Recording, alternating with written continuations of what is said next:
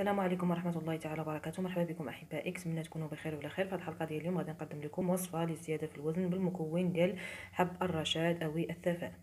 قبل ما نتكلم لكم هذه الوصفة ديال اليوم كنتمنى من الناس اللي كيزوروا قناة وصفات أمينة. لاول مرة كنتمنى منهم يشاركوا في القناة بالضغط على الزر الأحمر وما تنساوش تفعلوا الجرس باش توصلوا كل ما هو جديد. دابا غادي نتكلم لكم على المكونات ديال هذه الوصفة. غادي نحتاجوا آه، حب الرشاد أو الثفاء. غادي آه، نحتاجوا آه، جوج حبات من البيض وغادي تحتاجوا نصف كأس من الحليب يكون كامل الدسم أي نوع من الحليب متوفر عندك يمكن لك تستعمليه.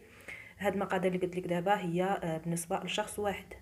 جوج بيضات آه غادي نحتاجو من حبوب حب الرشاد نصف معلقة صغيرة ما تجاوزيش هاد الكمية هذه نصف معلقة صغيرة وغادي تحتاجي نصف كأس من الحليب. بالنسبة لطريقة التحضير غادي تاخذي البيض ديالك غادي آه تخفقيه آه في واحد الإناء غادي تضيفي عليه الحليب غادي تضيفي عليه نصف معلقة صغيرة من آه حبوب حب الرشاد. غادي تخلط هاد المكونات مزيان آه في مقلاه غادي توضعي شوية ديال الزبدة ولا زيت الزيتون القليل أو غادي تصبي الخليط ديالك تخلطيه مزيان آه في نفس الوقت هو كيطيب وغتبقاي تحركي حيت هو فيه الحليب. غادي يحتاج شوية ديال الوقت باش يطيب.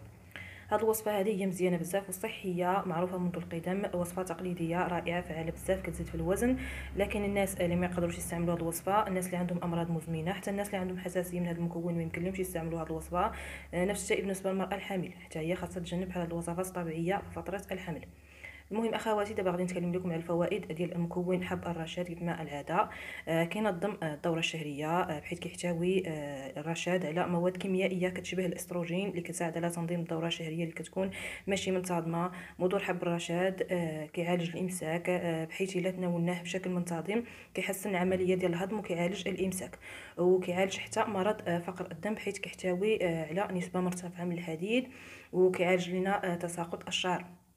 بحيث كيحتوي على البروتينات وهذا البذور ديال حب الرشاد كتكون غنية بالمعادن بحال البوتاسيوم والمنغنيز والحديد. إلا تناولتوها فهي غادي تساعدكم باش تخلصوا من تساقط الشعر.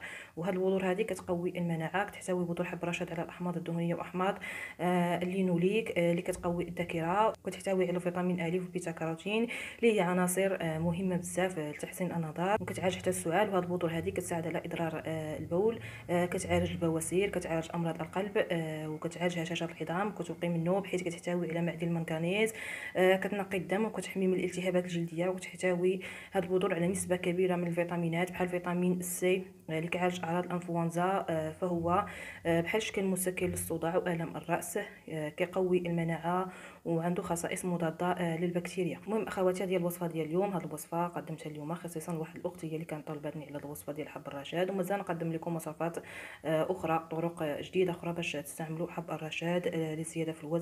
ووصفات أخرى آه كذلك للانجاب المهم أخواتي كانت هذه الوصفة ديال اليوم. كنتمنى تكون نالت الإعجاب ديالكم. اللي عجباتكم ما تنساوش تشتركوا في القناة ديالي ودعموني بلايك. بالنسبة للأخوات اللي مازال ما اشتركوش كنتمنى منهم يشاركوا ما تنساوش تفعلوا الجرس باش توصلوا بكل ما هو جديد. وإلى حلقة أخرى وإلى اللقاء.